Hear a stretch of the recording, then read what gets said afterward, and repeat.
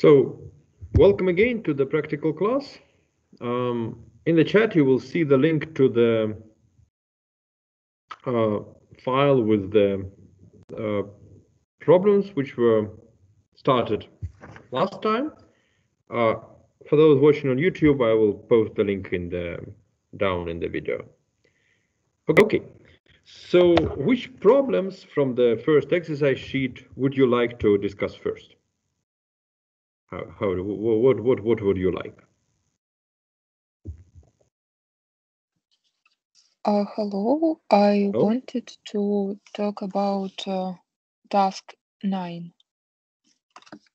Nine, yeah. So nine was the most interesting one of that, uh, Yes. because it was a, actually a theoretical question, which was, in a sense, uh, smuggled to the seminar class just to save time on lectures. So it's a theoretical question. Let me uh, first remind it. So we should construct a three CNF. So it should be three a conjunctive normal form. It should be a three CNF for which saturation process gives us an exponential blowup. Uh, the formulation is a bit more complicated because here we um, say that there should be a series of formulae of growing size. So if we have a concrete CNF, well, it's just fixed finite size. And how can you say that it's exponential? No way. Okay, you have you had 10 and yielded 1000. Is it exponential or is polynomial? Nobody knows. Uh, so here for each n, you should construct um, a formula and uh, the growth should be exponential after saturation. Okay, so does anyone want to show how this is solved? If yes, please uh, speak up. If not, then I will show how it is, just this example. It's quite interesting. No, no one solved it, but uh, well, this is actually a pity because uh, it's not that hard, but it's quite interesting. So uh, let me introduce the following variables first. So we have P,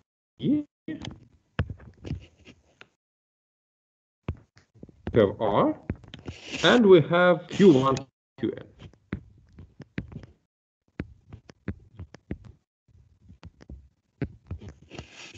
So here the number of uh, variables is n plus 2, so roughly speaking it's n. And uh, we're going to construct a CNF, which is linear in the size, so it has also, roughly speaking, n clauses. And uh, its saturation will be um, exponential. So what is the main idea? The main idea is that uh, inside these uh, clauses, you will have, say, some qi and some not qj. And when you saturate it, you will get clauses which will include something like q1 or not q2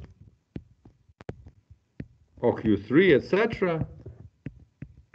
So which will include all possible combinations of uh, q's and their negations. This will be the idea. And this will give us exponential blowup because we're 2 to the power of n. Okay, so the clause actually will include the following. So what is the 3 CNF? I'll write it in another color. I don't know which. Blue. Okay, so this will be to say the following clauses. P or Qi or not R. This will be the first series of where I 1 to n and uh, the other one will be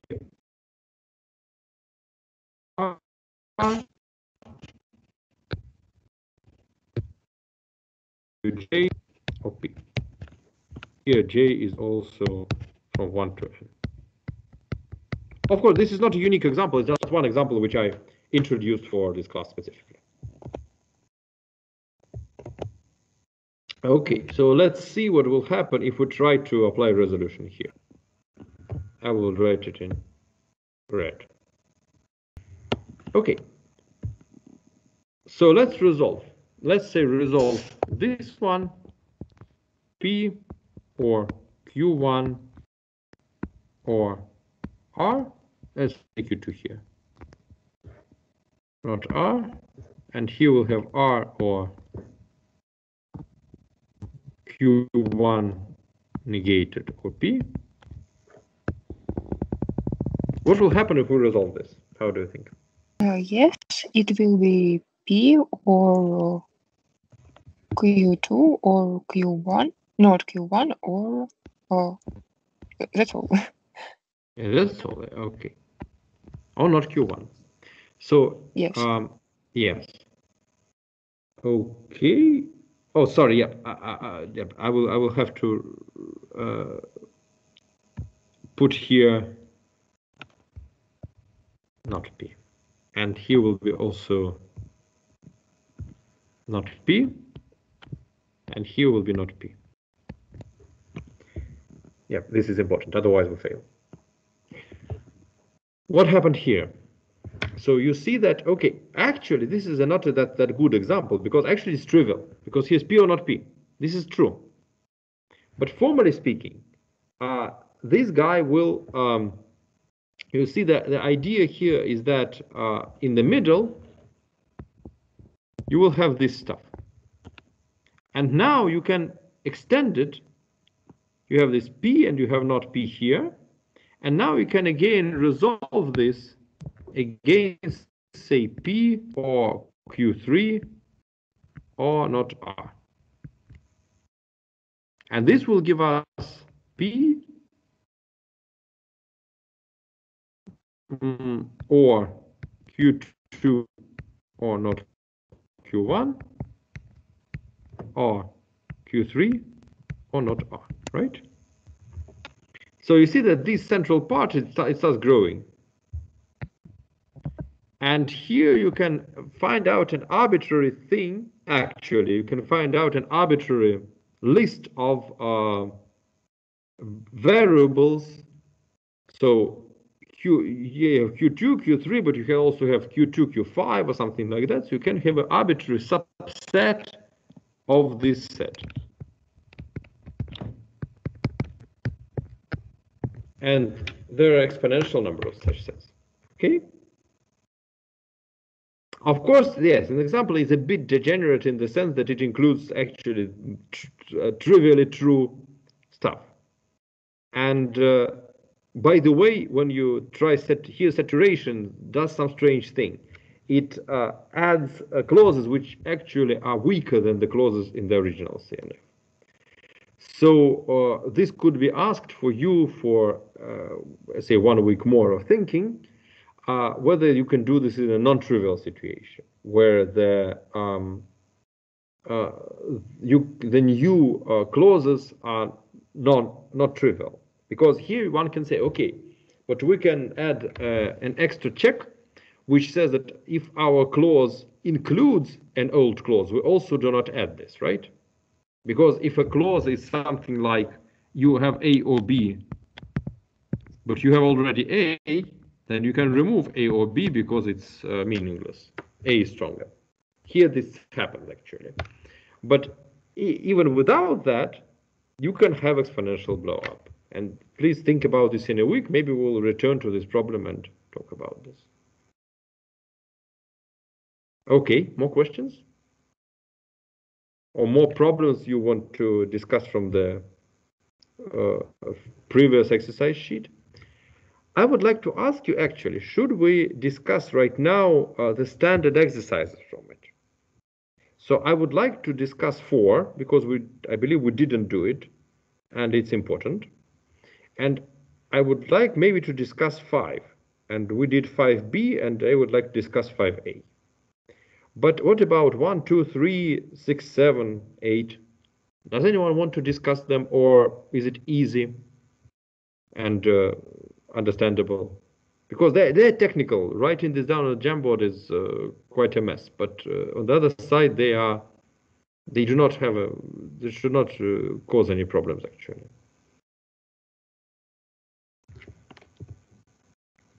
So, what what's your It, opinion? it was everything okay with uh, these numbers. So okay, maybe number it was four. okay, but there could be other people who had problems with them. Okay, let's then start with number 5a, and then we'll go uh, and uh, for further ones uh, if people want. So let's try 5. I will recall the formulation here. So the formulation is as follows. You should construct a formula A such that the following equivalences hold. R implies A should be equivalent to R implies P O Q. Yep, the brackets I put like that. And uh, A implies R should be equivalent to P uh, not P Q implies R. And we should construct a formula which satisfies these equivalences. So equivalence means that these guys are true under the same assignments. Does anyone want to show how it is solved? Okay, if nobody did this, I will do it myself, just to show. Okay, some people writing in the chat. Um, where is it? By using table. Okay, please show. Please show. You can write on the Jamboard. People doing this. Okay. Mm -hmm.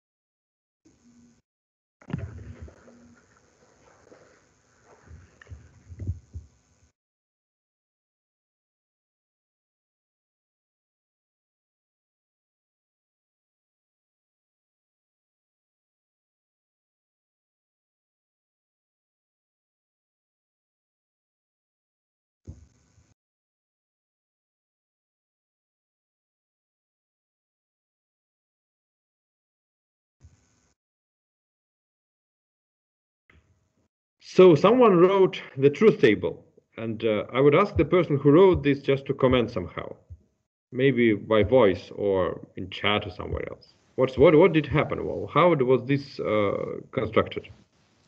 Uh, can you hear me? Yes, we hear you. Um, okay, uh, I wrote the formulas in order to make them more simpler to um, make a table.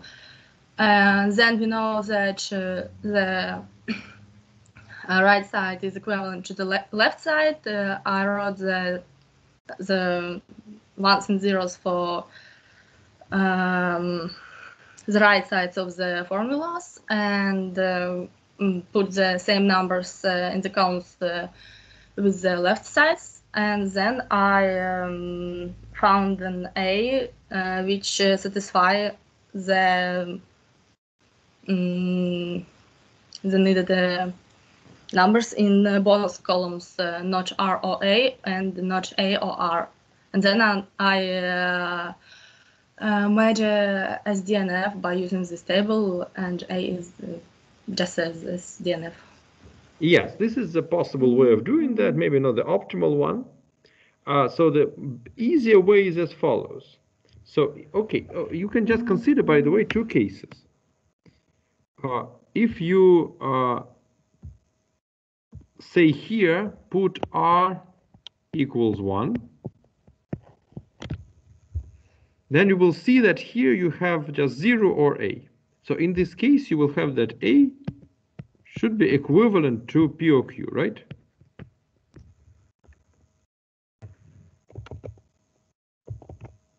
And if r equals 0, then here you will have not A equivalent to this guy, right? P and not Q.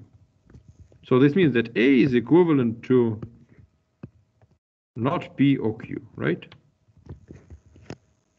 And then you just say that what happens? You just have to glue this up. And the formula will be as follows. It will be A is R and POQ or R should be zero, so we're not R and not P or Q. Yeah, this is a shorter form of this thing. Is that clear?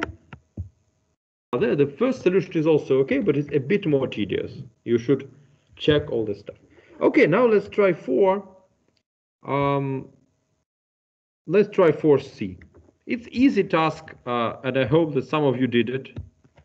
Um, but it's just interesting in a sense. So, by the way, 4B, it was the majority function and it was on the lecture. So it's voting at least two out of three vote for. So 4B, you can see it on the slides of the lecture, for example. There is an example. 4C, A should be true if and only if an odd number of PQR are true. So either all of them are true, all three, or exactly one is true. Who could write down the, the formula? In any way, using DNF or using uh, anything goes.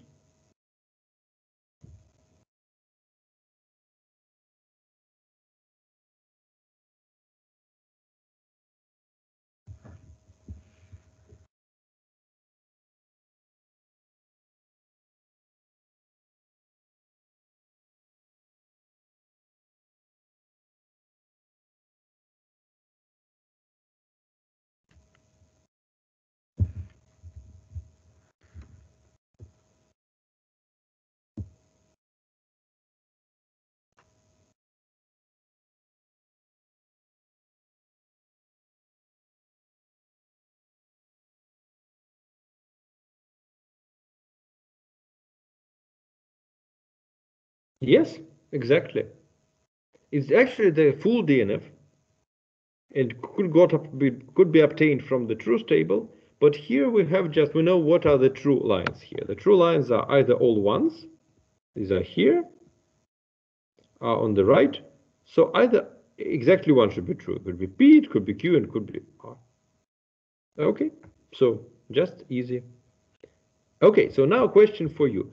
Does anyone want to uh, discuss any other problems from the first exercise sheet? Because if not, we'll go for the for the next one. If yes, then please speak up or put in the chat and we'll discuss it. Okay, something here. 6C. Okay, let's do it. Yes, 6C is good and uh, it's not that easy. So let's uh, let's try to do it. 6C, let me write down the formulation of it. That's a big number of brackets here. And also 8b. Okay, let's first try 6c. So this is bracket, bracket, bracket, bracket. Then it should be p implies q. Implies not p. Implies not q. Implies not r implies R. Okay, so translate into DNF and CNF. Who wants to try at least one of this? CNF or DNF? Okay.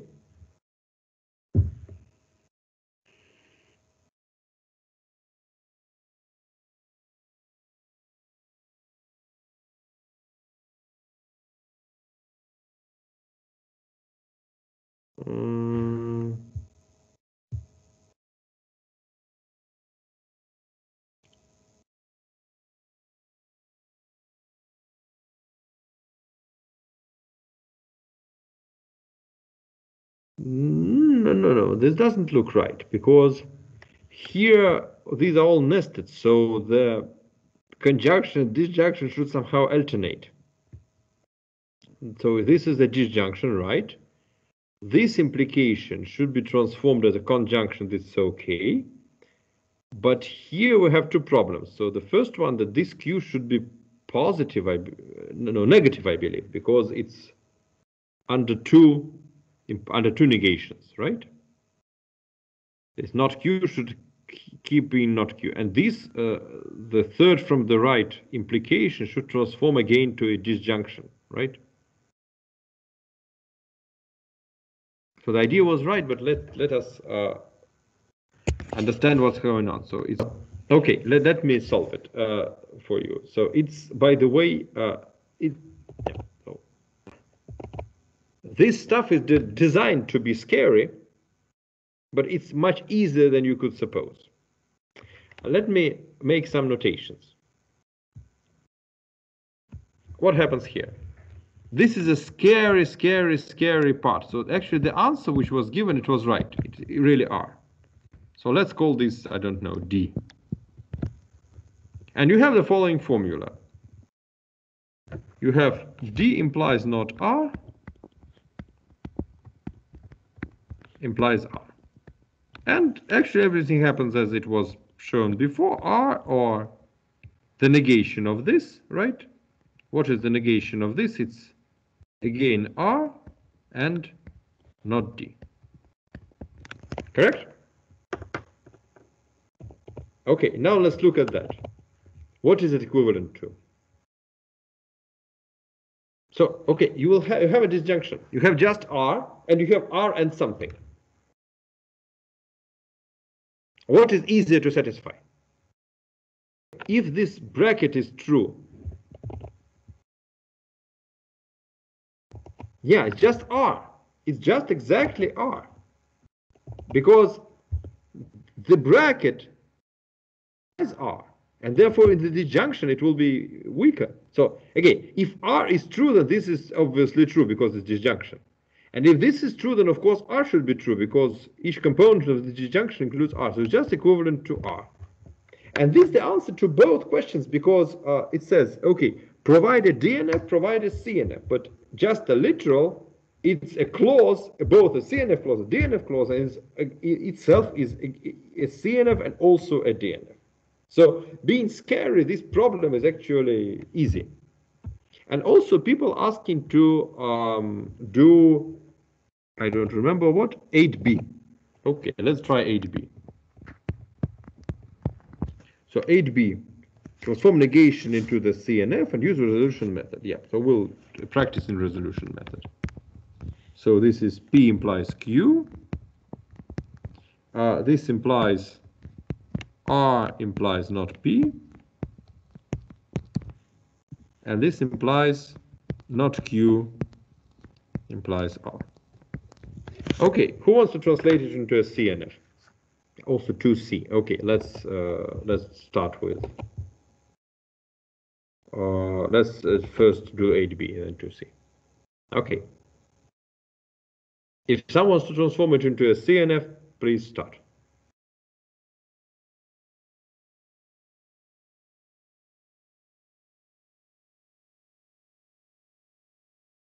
RQ, exactly. Or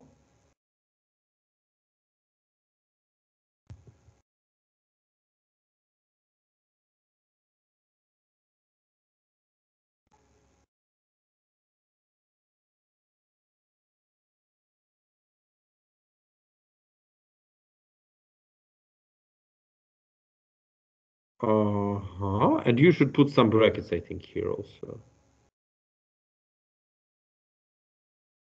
No, it's not P on it's P or P and aria, right? Oh, or, or not. So let, us check. So okay. Yes, no, these these are not necessary. So what do we have here? We have to negate this guy. No, but this R is bad here, and this Q is you you didn't negate it. Ah, you you just it's just the formula itself. Okay, so you have R, you have uh, not or this or negation of this q or negation of this. So how to negate this? You should say that p should be, no, this guy should be negated. The left-hand side should be negated. How to negate an implication? You should postulate the, yes, okay, it's, it's, it's right Yes. So one not doesn't imply zero. So this guy is not p or q. Then this is r here, and this is negation of the q. Right, okay, now we should negate this and obtain a, a negation of the formula. Uh -huh. Uh -huh.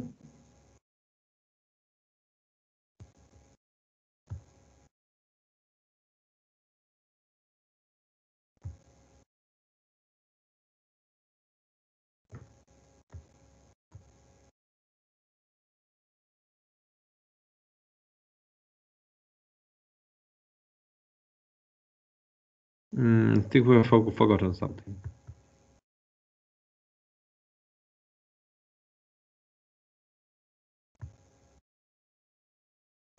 Aha. Yes, because you removed P and not P.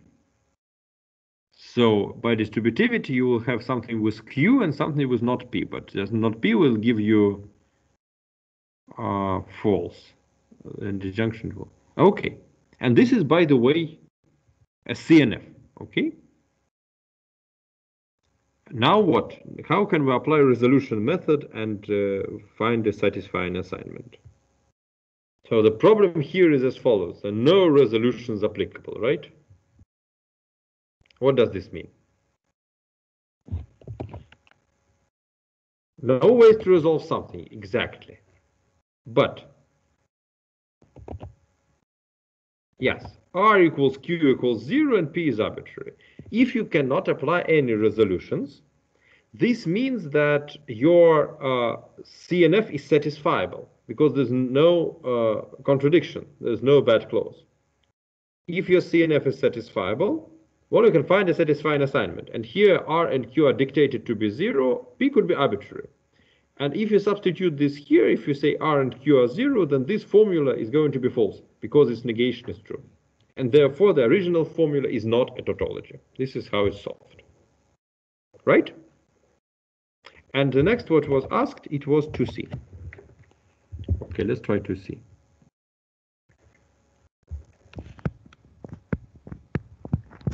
So 2C was, uh, is this formula satisfiable? Oh, yeah. So Q implies uh, P and R, uh, then and not P or R implies Q. Okay. Does anyone want to solve that? Is that satisfiable? By any method. You can try resolution, you can try something more standard, just uh, guessing where is satisfiable.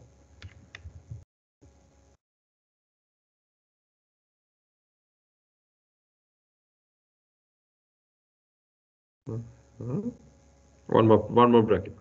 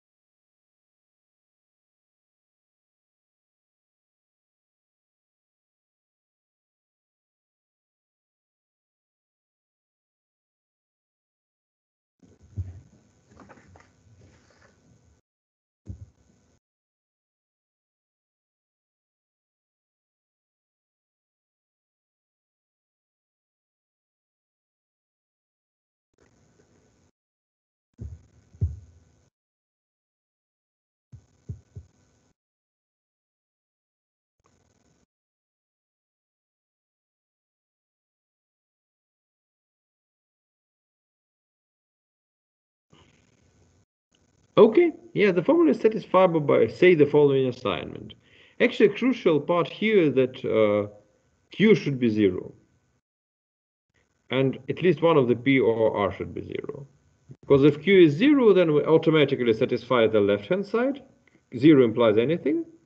And here we have not that this implies zero. And in order to this to be false, here is zero on the right, and here we'll have one. So say if P and R are both one, that is satisfied. Even if one of them is one, is also satisfied. So it's satisfiable one. Okay, more questions of this exercise sheet because we're now moving to the next one.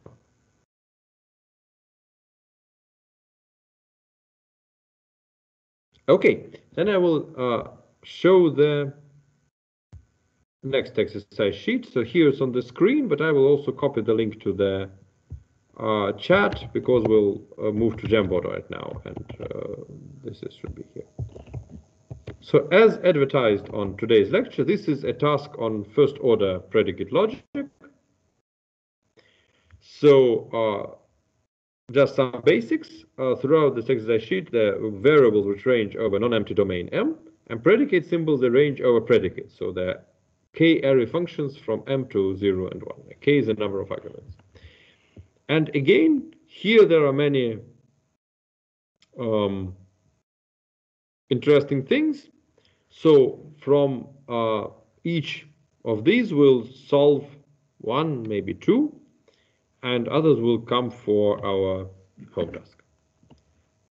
So uh, yeah, we have some, time still left. So let's uh, slowly uh, begin with uh, today's thing. Okay, so uh, let us start with um, maybe the first one. So first order, okay. Mm, where is my Yeah. So maybe someone wants to solve something from the first, say first A. Let me write it down on the Jamboard also. First A, predicate logic, uh, for all x, uh, p of x or q of x. Does that imply that for all x, p of x or for all x, q of x? And the question is whether this is generally true for any interpretation of P and Q on any set. How do you think? Is this true for all assignments? Or are there any variants for which this is false?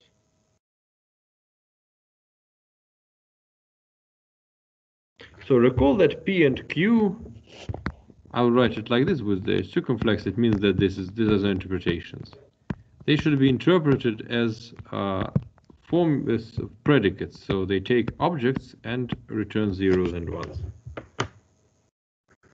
So at each object, P is either true or false, and also at each object independently Q is either true or false. And the question is, is that formula which is written on top, is it always true? Well, I understand the problems with this such sort of tasks. They are more creative than the previous ones. So here, okay. Yes. Do you mean that it is generally true? So yeah, no, but no, no. Any x is here before the formula. So you have this is a, so you have uh, here. This is uh, the left hand side of the implication. This is the right hand side of the implication.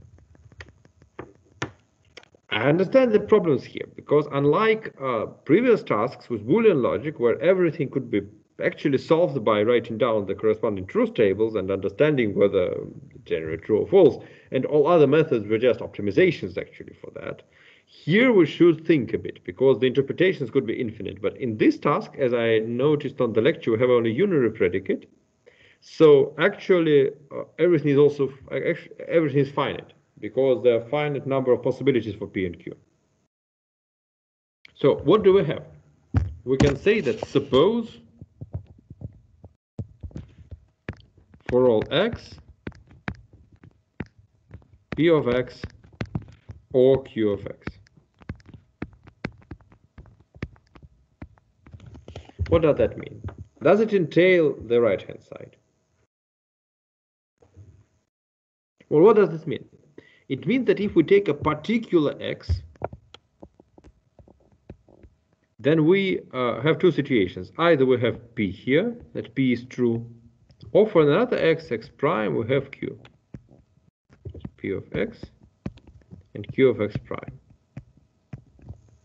Okay, let's now read what is going on on the right. What does it mean that for all x, p of x? It means that any x should satisfy p. Okay? P of x is true for any x. or q of x is true for any x. This is the right hand side. But on the left hand side, it's a different situation that for any x, it should be either p or q, or maybe both. So you see that the left-hand side is weaker. There could be possible situations where P is true somewhere and Q is true somewhere. And but the none of uh, neither P nor Q is true everywhere. And you could try something like that. So you could try a model where M includes only two elements, A and B. So here you have A, here you have B, and you have P of A not P of B, not Q of A, and Q of B. You can assign the um, truth values like this, right? And then you will have uh, the following. Your uh, left-hand side of the implication is true, and your right-hand side of the implication is false. Therefore, this implication is false. Right? Okay, and let's now, because I did it myself, let's now try 2b, 1b. The same presupposition,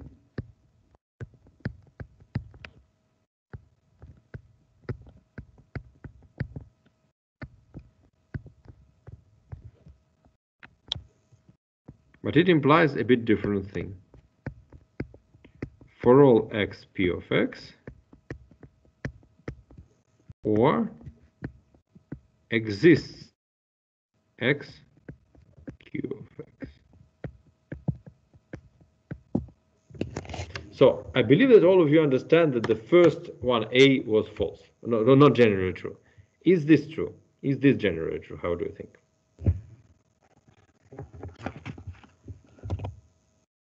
Is this not generally true? Okay, if it is not generally true, then you should uh, suggest a, uh, an interpretation where it is falsified, as in Boolean logic, as an assignment where it's falsified.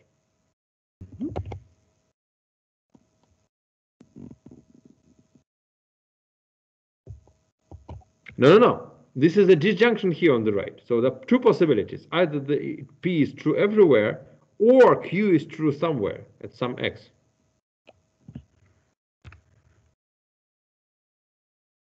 No, no, no.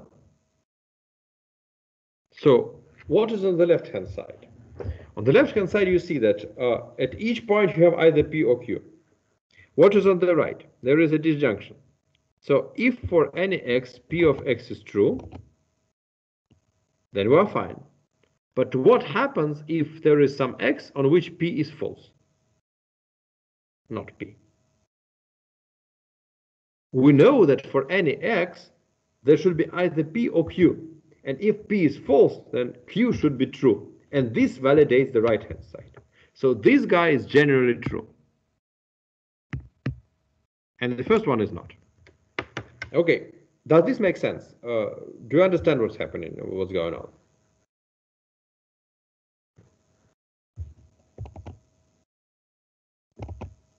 Okay, no questions, so suppose that everything is fine.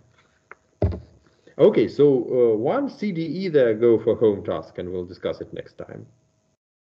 Um, okay, so uh, let's now try point two, to A. Is dual satisfiability? As usual, we have truth, we have satisfiability. The following formula exists x such that for all y q of x x and not q of xy. How do you think? Is this formula, well, of course, this formula is not uh, supposed to be generally true because it started with the existential quantifier. Objects could not exist. Uh, but uh, is this satisfiable? Could there be an interpretation for Q such that this is true? So there is some x, which is in the relation q with itself, but for all y, it is not in relation q with y. Equality. But okay. Again, you will have, so you suggest that q of xy is just x equals y. So you indeed get q of xx because x is equal to x. But the other thing says that for all y, not q of xy. So for any y, x is not equal to y. Could this be true?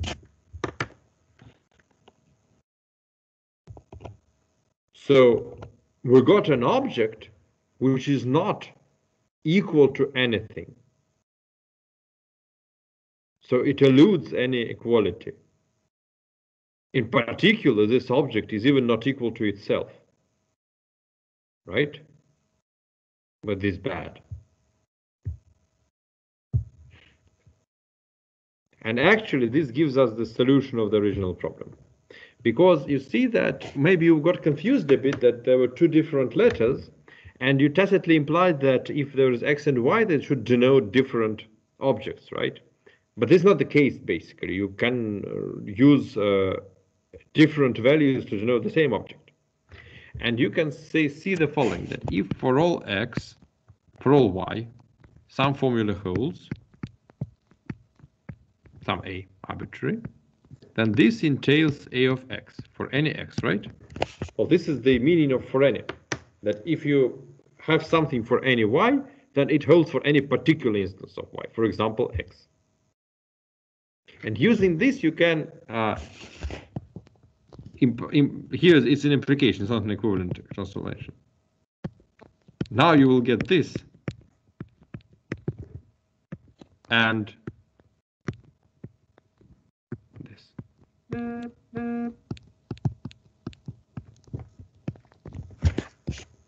And now, let's see it, this formula on the right. Could this formula be satisfied? How do you think? Exists x such that q of xx and not q of xx? Of course, this formula is not satisfiable. Because we have just crude contradiction. We have q and not q. And then could not exist an x which is at the same time in relation q with itself and in not q with itself. But if we satisfied the original formula, this one, of course we should have satisfied all its corollaries, everything that follows from it. Therefore, this also not satisfiable. Okay, does this make sense? For other formulae from 2, let us postpone them to the next class for you maybe to get more acquainted with these notations. Okay, so now we have three, four, five, six. Let's ask you, which one would you wish to discuss now? So we have some something like 20 minutes left. We will not have time to discuss all of them, but uh, let's discuss some of them. Which one would, would you want to discuss now? Okay, if no preferences, then I would like to start maybe with five. Uh, it's fun, and uh, I hope that you will do some of at least some of this yourself. Okay, 5a. How do you express the fact that a reflection a relation is reflexive? Do you know what a reflexive relation is?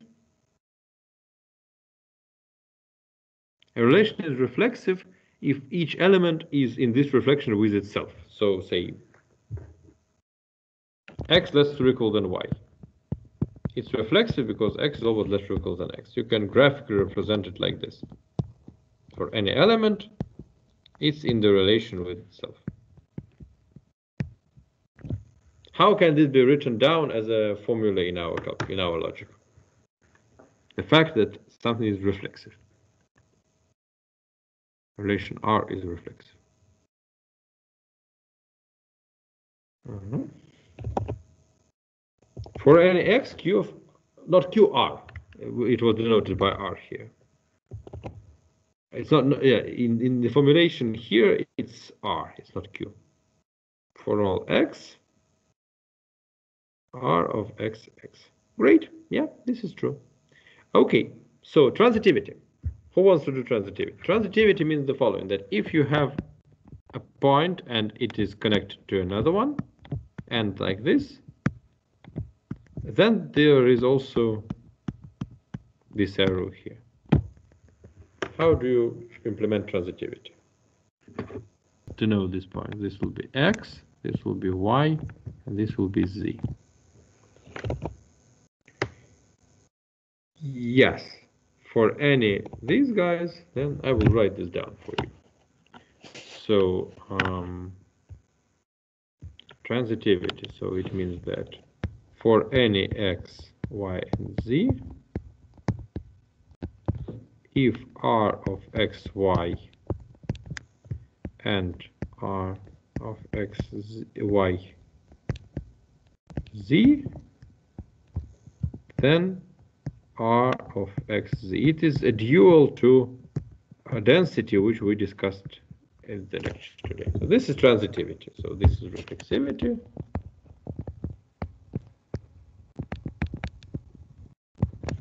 And this is transitivity.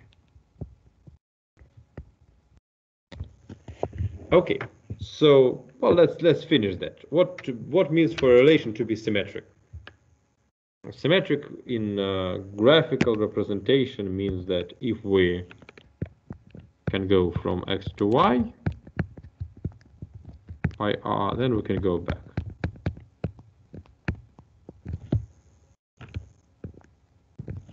Okay, someone already wrote this down. Yes, exactly. I will write it down also on the Jamboard.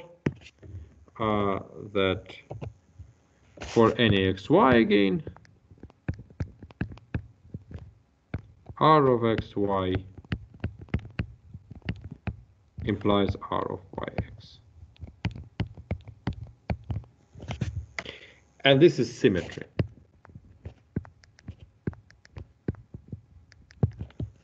So uh, for the last one, which is antisymmetry, okay, I will just write down the correct answer here because this is a matter of uh, some uh, terminology. Uh, what you wanted to say is that if you antisymmetry means that it's not symmetric in the sense that never symmetric. So it means that it should be rxy implies not ryx. But by definition of antisymmetry, you are allowed to be reflexive. And this is represented as follows. Let me say it now. Antisymmetry. Uh, it says the following, that for again, for all xy, of course, if r of xy and r of yx, then x equals y. So here, unfortunately, you cannot express that without saying that, uh, without using uh, equality as an extra predicate symbol. So formally speaking, equality also is a predicate symbol, so you could write it like this. And with equality, this is expressible. Without equality, you cannot express it because without equality, you could have clusters. You could have objects which uh, see each other, say x and x prime, and they are, if you don't have equality, you don't know whether it is the same object or it is, uh, there are two copies of that. And therefore, antisymmetry is expressible only in the presence of equality. This is uh, uh, important thing, and therefore I decided to search like that. Okay. Mm, so uh, also let us maybe try, let us try point four from here.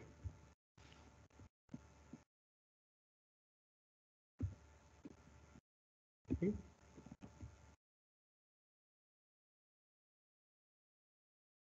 Point four, that um, here we have a concrete interpretation on natural numbers. So R of AB means that A is less than B. And the question is uh, how to express the following. U equals U plus 1 equals V.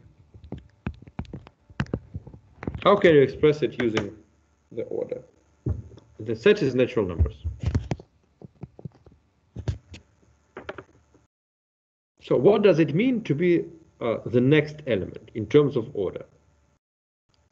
What is uh, u plus 1 with respect to u?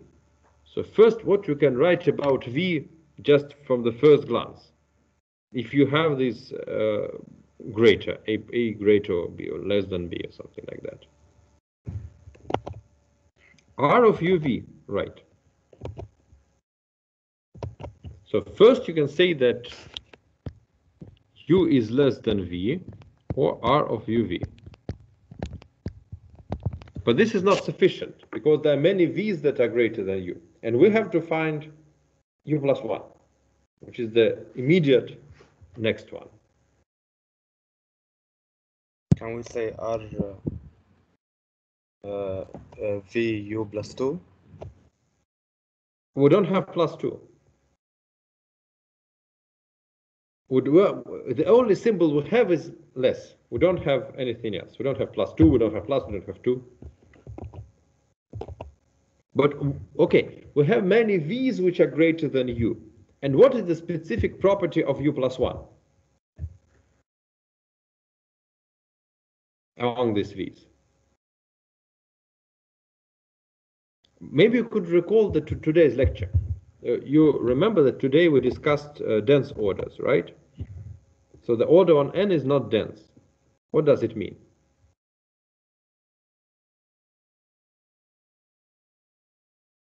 So what is the specific? Okay, I'm maybe we could write draw this on the on the natural number line.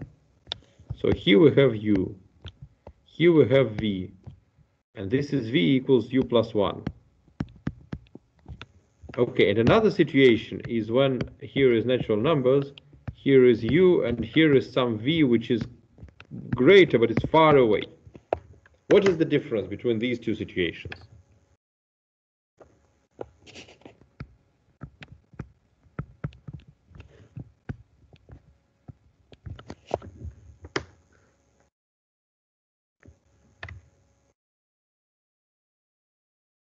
I even wrote down this hint here, drawn it on the natural line.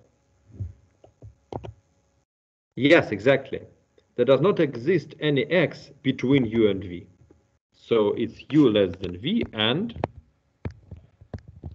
there does not exist an does not exist an x such that between yes u less than x and x less than v. And you can rewrite this in terms of R.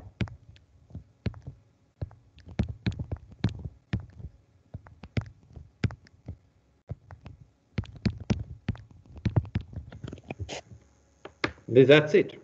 So we use non-density. By the way, if instead of n we, we consider z, it's also fine. But if we consider real or rational numbers, this fails and it fails that it's not expressible. Because if you have rational line and you have the order, you can shrink it or extend it. So you can apply affine transformations. You can multiply everything by 2, and the order mm, is the same, but uh, plus 1 fails. So this is only for discrete situation like that. Okay, so any questions by now? on this topic, on the home tasks, any of them, please. Okay, then if there are no questions, then I think that at this point we could actually finish by today because, uh, well, we could consider other problems if you wish. If you want, just please uh, indicate this and we'll do this. Uh, but if not, then uh, other questions from this exercise sheet will be left for you for home thinking and also understanding of this notation. Notation is quite easy, and uh, most of you who learned some mathematics, they should be familiar with that. But uh, this requires some uh, understanding. Another home task which is still there is to co construct, a, say, better example for the problem 9 of the first exercise sheet. As we've seen in our examples, well, it was formally correct, but there was a problem that uh, the new clauses added to the CNF, they were actually weaker than the clauses that were already in the conjunctive normal form. And one could say, okay, the algorithm could just rule this out in an easy fashion and this will be okay. So um, the question is to construct really a working example for which no such problems will be there and will still give exponential growth. Such examples exist because otherwise we'll get all these uh, big prizes uh, for proving p equals np. Because if such example does not exist, it means that there will be an algorithm for solving satisfiability of 3CNF in polynomial time, which is highly unlikely uh, due to the uh, theory of uh, P and NP. So next time we'll have uh, Turing machines as the generic computation model, both on the lecture and on the seminar, and also, so the lecture will be given by Alexey Talambutsa uh, in the same hybrid format as usual. Uh, so for the class, we'll have two parts. The first one will be about, so we'll start with, of course, uh, finishing this sheet on predicate logic first order. As I said, we do not stop on first order logic for a long time. We just uh, small grasp of that. Then we'll do Turing machines and a bit of graphs. And uh, so uh, in two weeks, there will be graph theory on both lectures and seminars. And uh, we have five minutes left. If there are no questions, then we'll finish right now.